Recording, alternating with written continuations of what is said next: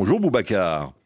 Oui, bonjour Juan Gomez et bonjour à Valérie Gass et bonjour à tous les auditeurs de l'émission d'Appel sur l'actualité. Je vois que vous êtes très bien informé. Valérie Gass, la chef du service politique de RFI, c'est elle qui va vous répondre ce matin. Bonjour Valérie. Bonjour Juan et bonjour Boubacar. Des questions, Boubacar, sur le projet de loi immigration qui est examiné depuis lundi par le Sénat français.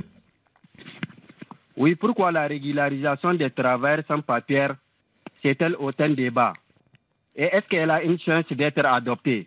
C'est le sujet qui a enflammé euh, le débat politique ces dernières semaines. Valérie Gass, c'est ce fameux article 3, le plus controversé, il faut le dire, du projet de loi. Euh, il a d'ailleurs été supprimé hier soir. On va y revenir, bien évidemment. Expliquez-nous pourquoi la régularisation des travailleurs sans papier fait autant débat en France. Eh bien, parce que c'est toute la problématique de la lutte contre l'immigration irrégulière qui se joue autour de cette question. Et dans la classe politique française, il y a de vrais clivages, on va résumer, entre la droite et la gauche hein, autour de cela.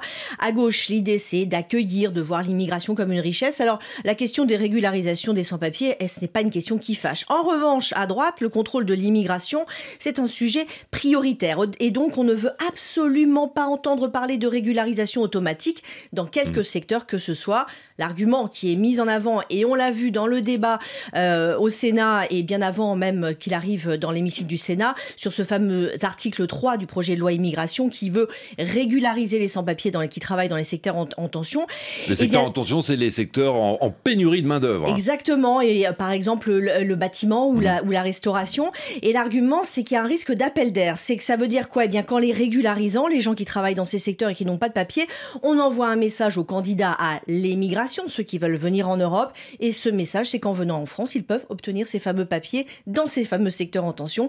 Et donc, pour la droite, c'est une manière de les encourager et il n'en est pas question. Et c'est ça qui coince avec le gouvernement concernant le projet de loi. Oui, parce que c'est pas le point de vue que défend le gouvernement, hein, qui a voulu faire de cet article euh, sur la régularisation dans les métiers en tension le symbole du volet humanité de son projet de loi, en vantant une certaine forme de pragmatisme, c'est-à-dire qu'il y a dans ces, certains secteurs économiques en France des émigrés en effet sans papier qui travaillent, dans des, qui occupent des emplois qui sans eux ne seraient pas pourvus.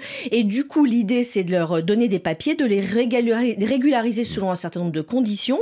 Et le gouvernement euh, considère que c'est bénéfique à la fois pour les employeurs qui ont besoin de main d'œuvre et pour les, les, travailleurs immigrés qui ont besoin de sortir de leur précarité. Alors Boubacar euh, vous demande euh, Valérie Gas si ce point du projet a une chance d'être adopté euh, en tout cas au Sénat. Il a été supprimé hier soir. Les sénateurs ont voté. Voilà, l'article 3, il, avait, il a, été supprimé officiellement hier soir après un vote. Et il y avait eu euh, mardi un accord entre les centristes et les hmm. républicains. Ce qu'il faut voir, c'est qu'au Sénat, ce sont ces deux groupes qui ont ensemble la majorité. Et donc ce compromis entre les, les deux partis, c'était une condition pour avoir une chance qu'un texte soit bien voté au Sénat, ce qui n'était pas sûr quand il est arrivé euh, en début de semaine. L'article 3 sur les métiers en tension disparaît, mais en fait, il y a un autre article qui a été rédigé pour le remplacer, le 4 bis pour être précis, ce qui fait que l'idée de régularisation dans les métiers en tension ne disparaît pas totalement, elle est reprise dans ce nouvel article, mais bien sûr, la droite a durci énormément les conditions.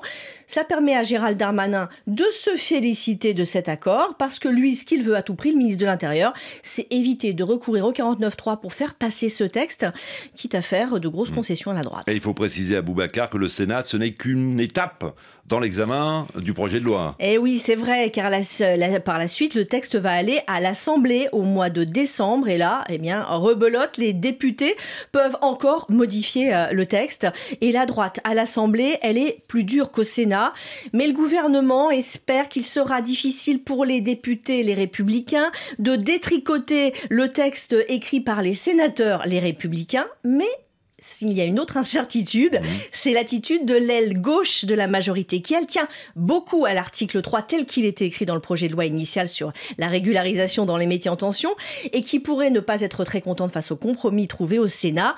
Tout ça pour dire, Boubacar, que on est sûr de rien sur ce qui sera encore dans le texte ou pas à la fin.